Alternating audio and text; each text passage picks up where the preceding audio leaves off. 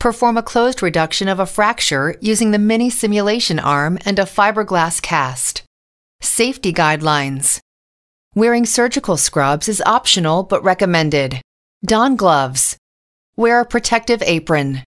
You will need the following items, which are all available in the Apprentice Doctor Orthopedic Kit the Fracture Simulation Mini Arm, Stockinette, Orthopedic Padding, a protective work surface cover, a disposable apron, gloves, a pair of scissors, as well as a roll of fiberglass cast. Use the color of your choice.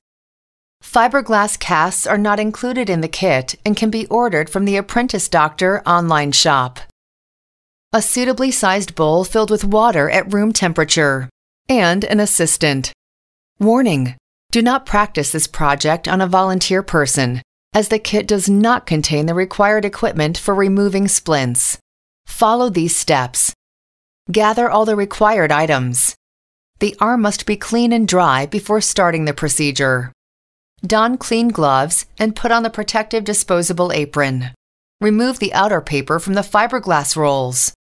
Cover the arm with a length of stockinette slightly longer than the arm.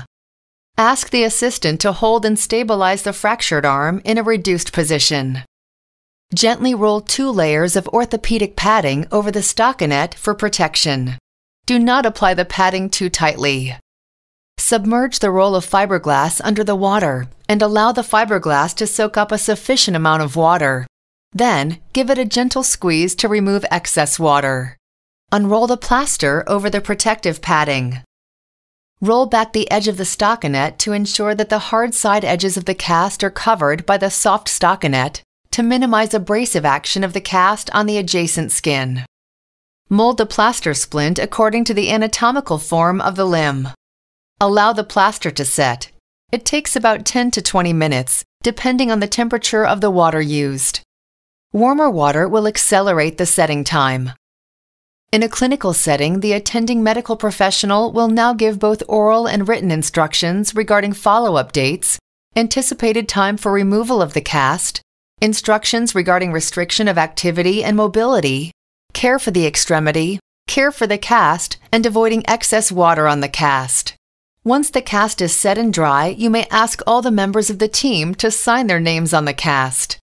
To retrieve the mini arm for use in other projects, gently maneuver the arm by rotating it and then pushing it out of the cast while pulling it gently from the other side.